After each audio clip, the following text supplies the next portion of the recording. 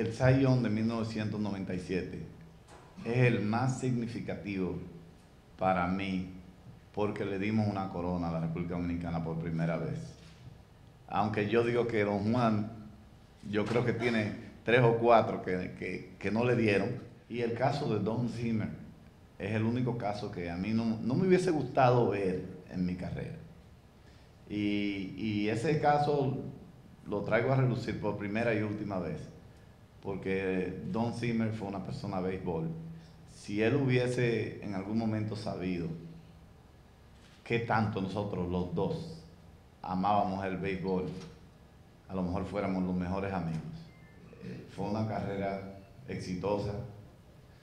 En realidad no pensé que tanto éxito mientras competía, porque la competencia no te deja ver lo que tú vas haciendo Tú agarras un juego, lo pasaste, lo pones detrás y mira el que está enfrente. Que yo he tratado de enseñarle eso a los muchachos, porque la temporada es muy larga, seis meses a, nueve meses, que a veces participamos ocho meses y medio. Es casi un parto. Es casi un parto eh, pasar una temporada entera con la postemporada para, un pelotero. Y así mismo duele también a veces. Eh, las temporadas no son fáciles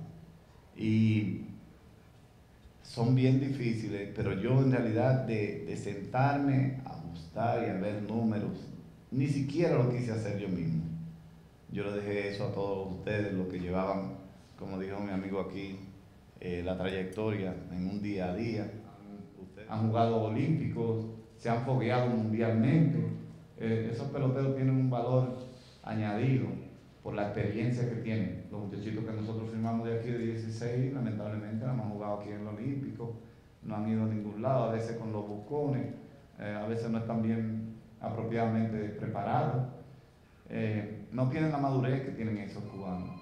Como Marichal jugaba, que era una época eh, bastante complicada para las minorías en los Estados Unidos por el tema del racismo. En... Y iba tirando mojitos, sí te cuidas un poquito más. Tú dices, no, por todo el medio no, yo me voy para aquella esquina o hago. Y, y me levanto.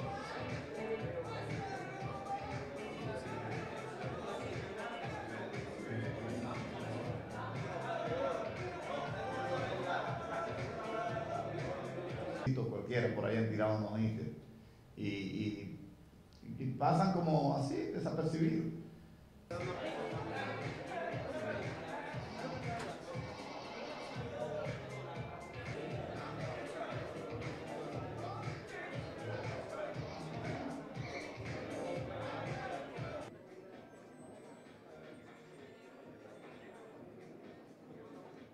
Trece ponches para la triple corona del picheo, unos 100 ponches más que le quedaban más cerca. Muchas gracias a Pedro Martínez por estar con nosotros.